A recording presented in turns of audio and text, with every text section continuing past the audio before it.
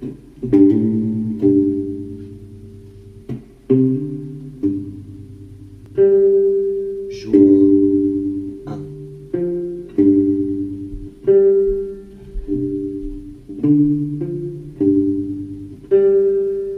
pause, un bout de fromage, un coucher de soleil.